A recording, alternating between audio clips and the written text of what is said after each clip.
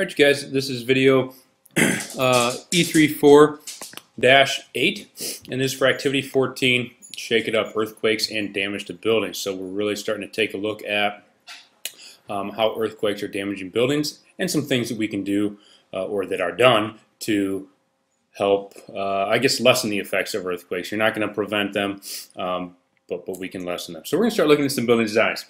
Uh, as you read through this, and make sure you are reading through this, uh, this is another lab. I'm going to let you go. Uh, as Mr. A and I are moving around, if we see you doing things that you're not supposed to be doing in a lab, as always, um, we're going to have an issue. So make sure you are following uh, directions and note the objective here. Compare how well various construction designs withstand the effects of an earthquake. So really, um, all you're going to have, as the diagram shows right here, is uh, the top of a plastic bin or a shoebox.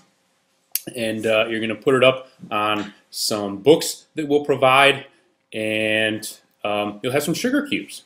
And after you identify the center of the um, top you'll simply follow the directions.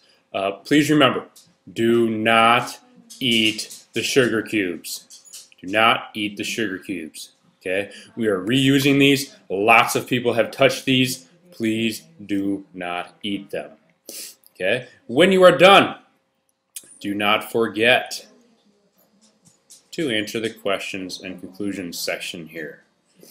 Okay, that's one of the most important parts. We're looking for good quality answers uh, so that we can see what you know. All right. So again, simply follow these procedures. If you have a question while you are going through them, please ask. We'd be happy to help you out. Good luck.